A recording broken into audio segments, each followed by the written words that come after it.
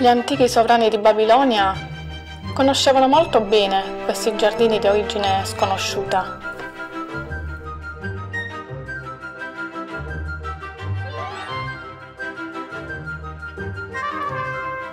Babilonia risale al terzo millennio a.C.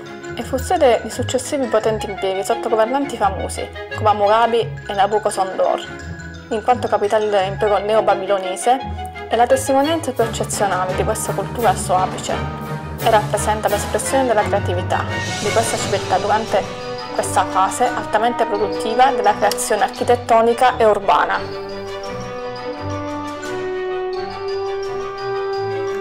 Beruso o Berosso, astronomo e astrologo vissuto nel III secolo a.C., ha narrato di Nabucodonosor e Amitide.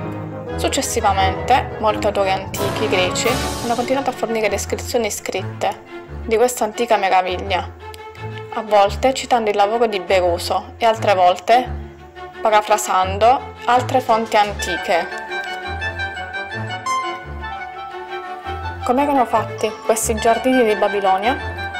Avevano la forma di un quadrato irregolare, che era composto da un corridoio centrale, circondato da mura massicce.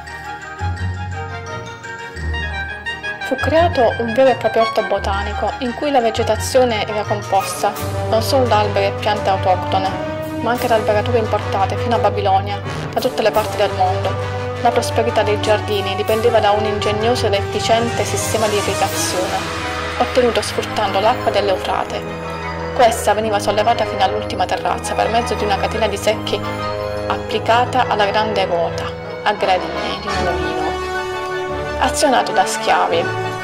Da lì l'acqua, scendendo, formava ruscelli e cascatelle che correvano lungo i giardini mantenendo il suolo umido.